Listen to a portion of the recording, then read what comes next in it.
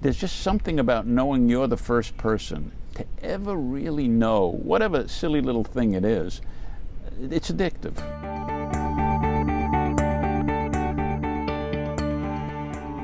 I'm Bob Lefkowitz. I'm a professor of medicine and biochemistry at Duke University in Durham, North Carolina. I'm also the, uh, an investigator of the Howard Hughes Medical Institute. Uh, and I won the Nobel Prize in Chemistry in 2012. And what did you win the prize for? I won the prize for identifying and isolating receptors on cells for hormones and drugs. And your research was done quite, quite a while ago. Well, it's been going on for almost 50 years, but I think the most seminal contributions I made were probably in the late 80s, uh, mid late 80s, and into the 90s. So uh, it was a good while until the prize recognized that work, which is not uncommon, I would point out. And could you tell me something about the research and what made it so the Nobel Prize isn't just for fascinating science discoveries, but it's uh, specifically for science discoveries that also are of benefit to mankind. Kind, right. So tell me a little bit about the research and how it uh, qualifies for that. So when I first began the work about 50 years ago, there was really no consensus that there was such a thing as a receptor for a hormone or a neurotransmitter or a drug.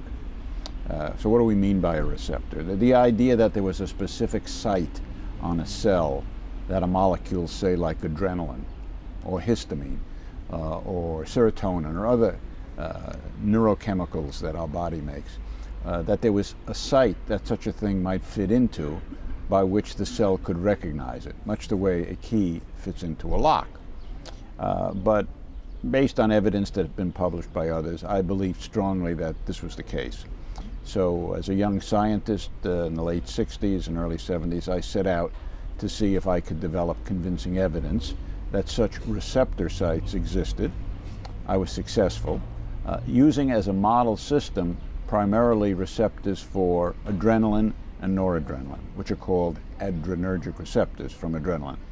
And I studied these for many years. I was able to first develop means of demonstrating that they existed.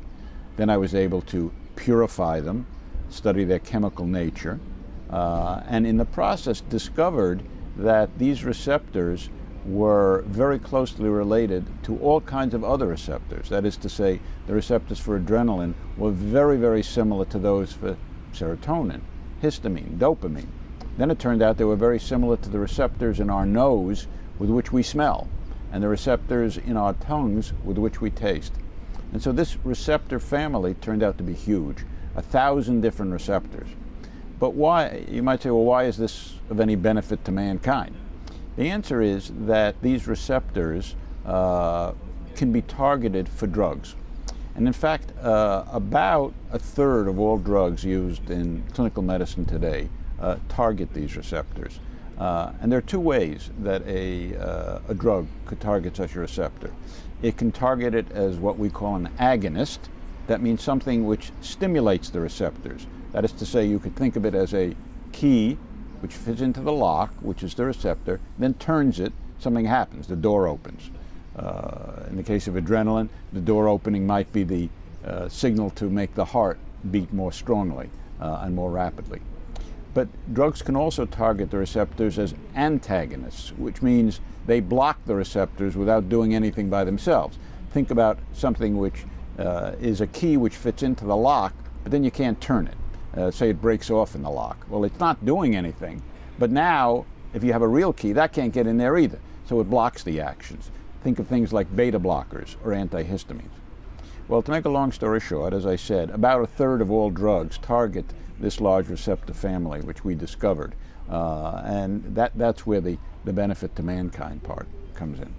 So, really, at the time in the 60s, the idea of receptors, they it wasn't established not at all. at all. Not at all. But you had a feeling and you went looking for them correct. Exactly right. Was there an aha moment like that that after how much time was there a moment that you got very excited about? Can you describe uh, yes, such I a mean, moment? I, there, were, there were many such moments uh, along the way. But one of the first ones was when i succeeded this would have been about 1974, in radioactively labeling uh, a, a drug which seemed to was known to block the actions of adrenaline.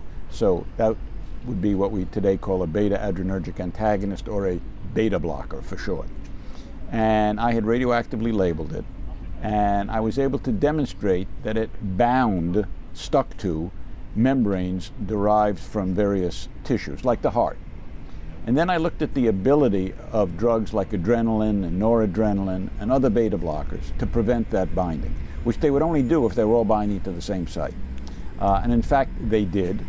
And I realized in that moment, yes, for the first time, I had actually labeled, if you will. I had a probe which was sticking to this mythical receptor.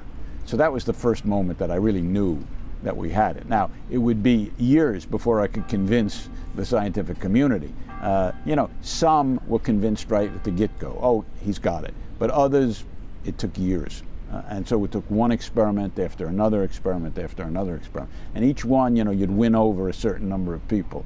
And then, you know, along the way, we won them all over. What is it that you love about science? I think it's, it's frankly, it's the high of making even the tiniest discovery.